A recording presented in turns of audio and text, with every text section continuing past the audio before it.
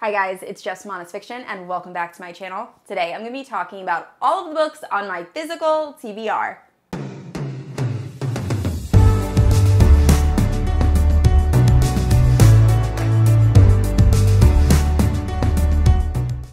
Alright guys, so I've been wanting to do this video for a while. This video is going to encompass all of the books I own physically that I want to read and haven't gotten a chance to yet. I will also be doing a second video that features just books from my Kindle and my Kindle Unlimited. That video is going to focus more on fantasy, fantasy romance. There is a ton on my Kindle that I want to read before the end of the year, so we're going to see if that happens. But for this video, I really hit every genre, and I will leave timestamps down in the description if you're looking for a certain genre. Now, obviously, I have not read these books, so I can't give you a very detailed summary on every book. I'm just going to say the name, the author, what I know about the book, why I want to read the book. So with all of that being said, if you are unfamiliar with my channel, I post new videos every Thursday and Sunday. If you haven't yet, please like and subscribe. You can also hit that notification bell to be notified whenever I post new bookish content. You can also check out my Instagram. It is linked down in the description below. With all of that being said, let's get into my TBR.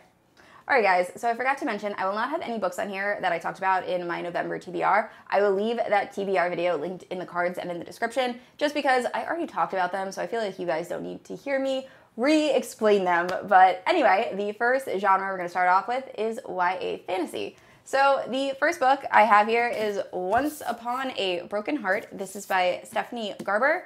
I don't know very much about this. This is the same author that wrote the Caraval series. It's following a girl who I believe has a crush on someone who is about to be married.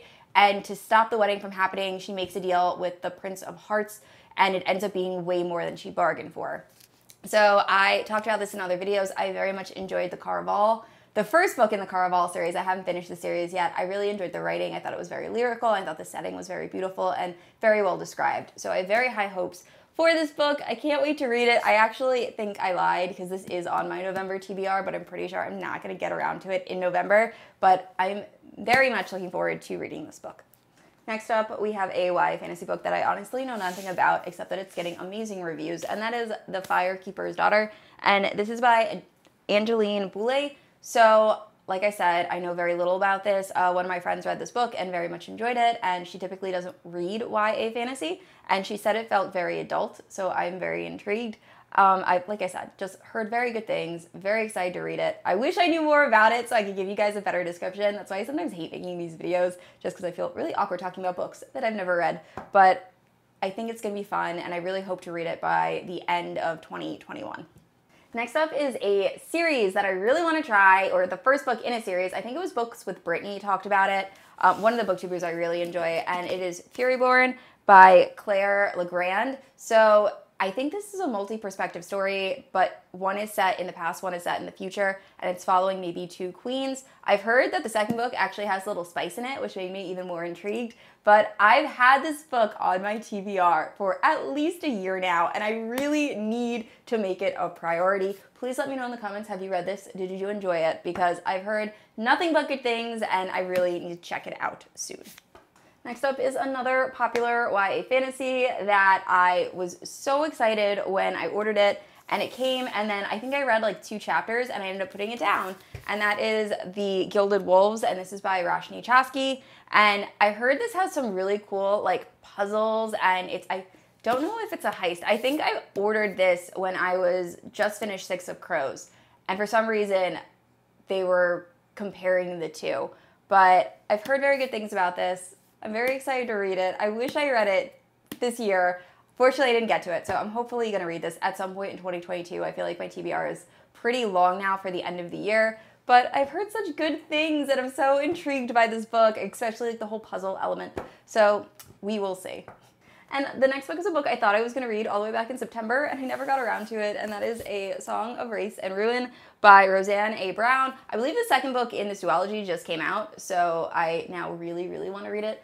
I am not exactly positive what this book is about. I believe there is a girl whose sister is kidnapped, and then she needs to kill someone who is, I think, in league with the throne, but then someone else is also trying to kill them, and then they end up either teaming up or going against each other.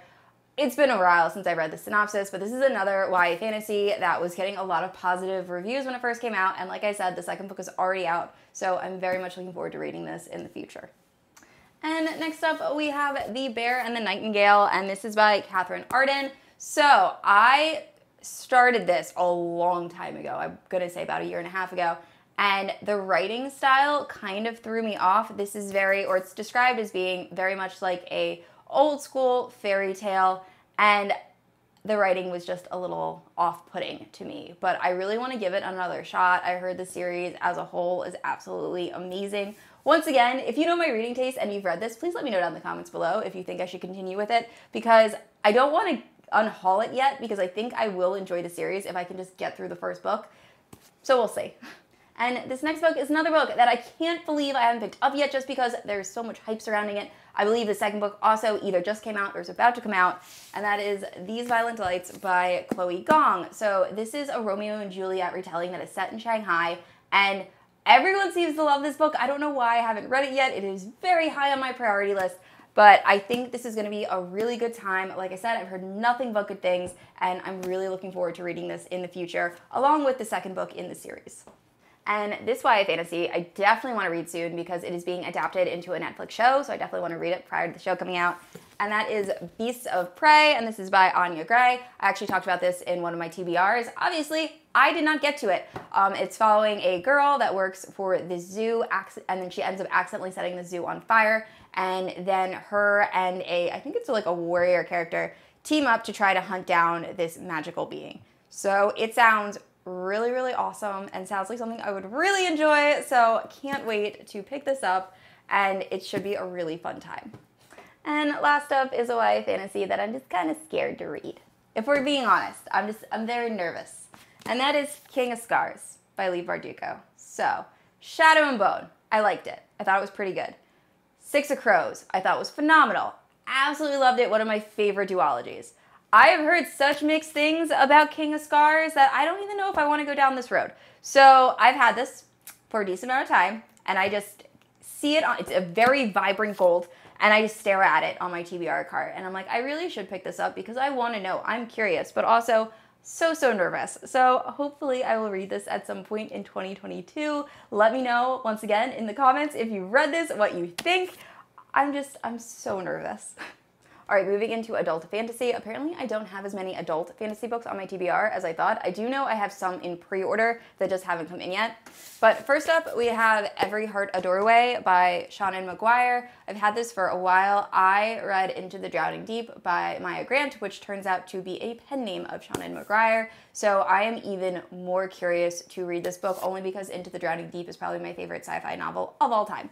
So I think this is going to be really fun. It's also really short. I believe it follows a group of children that are able to cross this doorway into like this whimsical world and then once they leave the world, they're all sent to this sort of like orphanage where they're dealing with the fact that they were able to go to this magical world. I could be completely off base there. That's kind of what I gathered from the synopsis. And I believe this is a series. So I'm very excited to read this and I hope I enjoy it and continue with the series. Like I said, I really enjoy Seanan McGuire's writing. So I think this will be very enjoyable and I can't wait to read it. And another adult fantasy book that I want to get to is Senlin Ascends, and this is by Josiah Bancroft. And I believe it was Elliot Brooks talked about this a lot on her channel, and she just made it seem like a really enjoyable read. It's following Senlin, who, after being married, goes on a honeymoon to the Tower of Babel and loses his wife and has to ascend this tower in order to save her. I've heard that the writing is not lyrical, but it's kind of hard to get into or hard to decipher, which was what was putting me off from reading this. However, a lot of people have said they really enjoy the series. Um, Pursue Project, Peruse Project. I always want to say Pursue. Peruse Project talked about this also um, in one of her vlogs, and she just made it sound like such a fun read. So I will definitely be picking this up, hopefully at the end of 2021 and some point in December, if not, definitely early 2022. All right, moving into fantasy romance. Let me just say there are not a lot on this list, and that is only because most of the fantasy romance I have and new adult romance I have are on my Kindle. Like I said, that will be a separate, very, very long video. So these are just the physical fantasy romance and new adult romance that I own. So first up, we have Savage and the Swan, and this is by Ella Fields. I believe this is a Beauty and the Beast retelling. It was very popular on BookTok, which is what made me want to pick it up. And I don't know very much about it. People said if you're a fan of ACOTAR, you'll really enjoy this. I believe it's this girl who's been raised to fear this beast type creature or the savage and her family has like feared him for a long time and then she ends up running away and ends up being like captured by him or something of that nature. But I'm super excited to read this and I can't wait to get to it. And next up is another TikTok book that was also on another one of my TBR videos, and that is The Atlas Six. This is gaining a lot of hype lately, and this is by Olivia Blake. So, this is, I believe, about a secret society and these people that are trying to compete in order to gain access to this secret society. And I've heard very interesting things about it. I think this will be very good. Honestly, I kind of just want to wait for the audio format of this book to come out, which is why I've been putting off reading it. Um, if it doesn't end up coming out soon, then I will just read it physically. But yeah, I'm very interested. Like I said, getting a lot of hype. And next up is a series that I actually think I own on my Kindle and in physical, and that is City of Thorns. I remember reading the back of this book and being like, I have to pick this up. It's following a girl that ends up teaming up with this demon, and they're both trying to get revenge on these people. And it just sounded like a really fun time. And I honestly can't believe I still haven't picked it up. I think I wanted to pick this up back in October for spooky season, but I ended up reading so many other great books. I just haven't gotten to it yet, and I really, really want to get to it soon. Another one, please let me know down in the comments if you have read this. I can't find, there aren't a ton of reviews on this book, so I'm kind of interested on how it ends up being. I'm kind of worried about the writing in it, but we'll see. So I'm looking forward to reading this in the future. Next up is a book I haven't heard too much about, and I'm very intrigued by, and that is Gods and Monsters, and this is by Jenny, Janie Marie. So I think I said this in another video. I accidentally ordered this thinking I was ordering a Shelby Mahurin book, and I just read the back, and it's so interesting. So it's following this young mother who is fighting to save her family, and then I think she teams up with a fallen angel type being in order to save them, and then it has the whole chosen one trope. But I'm really interested. So this might get pushed onto my November TBR. Um, it's not too long, and like the back artwork is, let me see my camera, is really cool. Just the artwork in general. So yeah, I think I might read this sooner rather than later. So look forward to this in one of my upcoming wrap ups. And last up for fantasy romance is another book that I just totally forgot I owned, and that is Of Goblin and Gold. And this is by Emma Hamm. So the cover of this book is absolutely stunning. I believe it's this girl who ends up trying to outwit a goblin, and then I think there's a romance that ensues. And I have never read a goblin romance before. I've done fae, I've done elves, all of those things. So a goblin should be interesting. And this is a very short book, so hopefully I'll be able to read through this pretty quickly. Another book that I haven't heard talked about an awful lot, and also another book that I think I own the physical copy, and I also own it on my Kindle. All right, moving into romance. So I kind of lumped contemporary romance and historical romance together. And once again, I have way more contemporary romance on my Kindle that I'll talk about in another video. But first up, I have Get a Life, Chloe Brown. This is by Talia Hibbert. This is part of a series all of the books in this series I want to get to. Luckily, I used some self control and I only bought the first book. I have not purchased the other two yet. But I believe this is following a girl who is described as a computer geek who ends up having a relationship with this handyman, tattooed, tough guy. And it just sounds really good. I've heard so many great things. I'm especially interested in the third book in this series. It just sounds like very cute, warm-hearted books, and I really enjoy these type of contemporary romances. So this is something I will hopefully pick up soon, especially with the holidays coming up. I think it'll be a perfect like Hallmark movie type book. All right, this next book I know absolutely nothing about. To be honest, I got it because Amazon was having a sale, and that is Ugly Love by Colleen Hoover. So I have never read a single Colleen Hoover book.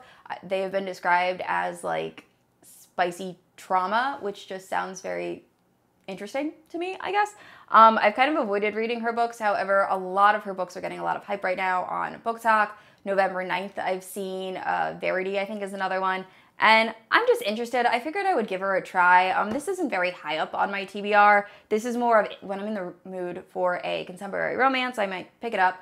We'll see. I want to read at least one book by this author before I judge her. So we'll see how this goes. But yeah, so this will be on my TBR for a little bit. Let me know in the comments down below what Colleen Hoover book is your favorite and which one do you think I should start with? Because I'm a little nervous about reading her works. So please let me know down in the comments. All right, guys, so this next book is very popular because of the hit Netflix TV show. So this is The Viscount Who Loved Me, which is the second book in the Bridgerton series. I started this and then I ended up putting down so originally I said I was not a fan of The Duke and I, and I stand by that. I think The Duke and I had some scenes that were done pretty okay or somewhat okay in the TV show that were done horribly in the book. Also, I didn't love the way the Duke of Hastings treated Daphne. I felt like it was very ownership and I just wasn't a fan of it. So a lot of people told me to read this and I actually started this and I was enjoying it, but I ended up putting it down. Now that the new TV show is coming out, I really want to read this. Definitely going to read it in December. Although I'm very sad that the actor who plays the Duke of Hastings isn't going to be there anymore. He was so good. I love that actor so, so much. But it's okay. I'm still very excited. And since this comes out, or I watched the show during Christmas time last year, I figured it would be a perfect time to finish this book. Next up, we have another historical romance, and I believe I actually got this because I had just watched Bridgerton and was in the mood for historical romance, and that is The Heiress Gets a Duke. This was a book of the month book, and I've heard nothing but bad things about it since getting it as my book of the month book. So I don't know when I'm gonna be picking this up. Um, this is probably gonna be, or I'm gonna end up reading this probably very late in 2022. I don't want to unhaul it yet just because I want to give it a try and I don't own a lot of historical romance. Once again, sorry, I'm asking a lot of you guys in this video. If you know a really good historical romance that isn't The Duke and I and Bridgerton, please let me know down in the comments below just because I do want to get into historical romance. I feel like there are a lot that I would very much enjoy. I just don't know where to start with historical romance. But anyway, I will eventually hopefully be reading this. And last up, we have a winter romance, which once again, I completely forgot I owned, so I am so happy I'm doing this video. And that is This Time Next Year by Sophie Cousens. So this is following two people that were born on the same day 30 years ago. Unfortunately, the girl was born right after the boy, and the boy has just had the luckiest life in the world, and she has been very unlucky. And she kind of blames the guy for this, and then I think eventually they form a relationship. Obviously, it's a romance novel, but it sounds really fun. And I remember being so excited to read this last year, and I didn't get to read it before Christmas time, and then it just kind of went off my radar. So I think I'm definitely gonna be reading this in my December, or in December. I'm gonna add it to my December TBR. All right, and moving into sci fi. So I actually only have two sci fi on this list. However, I have been really in the mood to read sci fi recently, and that is all because I recently saw this movie, Dune, by Frank Herbert. So this movie absolutely blew my mind. My friends and I were able to rent out a theater. It was the first movie I've seen in theaters since everything shut down. And oh my word, it was so good. So I grew up watching Star Wars with my dad. So this just, I can't explain enough how much I love this movie. I actually saw the original. That was a little rough, but Anyway, I started reading this book. I wanted to read it prior to seeing the movie, and it was just very dry, and I was having some trouble getting into it. I think now that I've seen the movie, I might have a lot easier time reading this and getting into this, and I really want to continue with the series because I love the movie so much, and I really want to see what happens. So the story is following Paul, who is the son of this very prominent family, and they end up going to Arrakis to kind of rule and then the old rulers show up and our disruption is a very simplistic way of explaining this book but it definitely has the tro- chosen one trope with paul and it's just so good the movie was so good so i'm very excited to read this um, i ended up ordering this just on a whim and i can't wait to see what happens in this story and this next sci fi book I also got because of a TV show. So I am currently watching The Foundation on Apple TV. Highly recommend checking it out. Oh my goodness, I did not want to watch the show. My husband convinced me to, and I'm obsessed. So that is also, I believe the foundation is also based on a series. I will eventually hopefully get to that. But I was just in a whole space mood. So for the book of the month, I got Hail Mary by Andy Weir. A lot of people were talking about this, just saying it was absolutely brilliant, that it was so much fun. I don't know very much about it. I believe it is a uh, this pilot or not pilot this astronaut is in space and wakes up and has like no memories of what's going on and he's trying to save i guess earth or something of that nature. But i really want to read this. It's very high on my priority list. I just have to be in the right mood to read sci-fi. Like i said recently i've been in this mood so maybe i will pick this up sooner rather than later. But yeah it should be a really fun time. All right so i only have one historical fiction on this list I do really enjoy reading historical fiction and I do plan on reading a lot more in 2022. This book in particular has been very hyped, very talked about, and I just never got around to reading it. And that is The Song of Achilles by Madeline Miller. So, this is the story of Achilles and Patroclus, and I feel like I've heard this story so many times, and everyone just talks about how sad this book is. And I think also I purchased this book right after I purchased Circe, and I hated Circe. I just thought it was so boring and I couldn't get into it. So I've been so nervous to jump into this, but we'll see. I do think I'm going to read it soon. Like I said, it is very beloved in the bookish community, but I'm just a little nervous. So we'll see. I will hopefully be picking this one up soon. And the next two are like contemporary fantasy. I might be completely making up a genre right now, but more like fantasy realism. And the first one is The Midnight Library, and this is by Matt Haig, one of my very good friends who is the only other person I know personally or in my friend group that reads books read this and said it was absolutely amazing and I saw it at one of my used bookstores and I grabbed it and I haven't picked it up since. I heard this is also very sad. I believe it's about a girl that is their self-harm and in order to cope with that she is given a book that lets her see how life would have been differently or if she made different choices how life could have been. And I've heard nothing but amazing things about this book, but I've also heard it's a really heavy book. So I'm also kind of nervous to pick this up. For some reason, this book also really reminds me of the wintertime and seems like something that I want to read in winter. So I might read this in like January or February and when it's snowing and we'll see. That's my plans for this book, but I definitely will be picking this book up soon. All right, this next book I can't believe I haven't read yet. I was so excited for this book to come out. I was gonna have it, I actually pre ordered it. It was supposed to come the day it was released. I was gonna read it that week, and then it never showed up. It got lost in the mail. And Amazon said they could either issue me a refund or send me a new copy, but the new copy wouldn't come for almost two months. And I just couldn't wait that long. Well, about two weeks later, the new copy, or the original copy, did show up, and that is Under the Whispering Door, and this is by TJ Klune. However, I just had so many other books I was reading at the time, I didn't jump into this, and I really want to read this. However, it is not getting as good of reviews as I thought it was going to, so I'm a little nervous. But this is by the same author that wrote House in the Cerulean Sea, which is by far one of my favorite books.